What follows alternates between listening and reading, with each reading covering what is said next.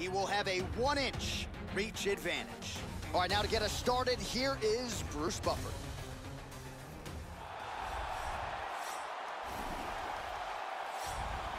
Ready to fight?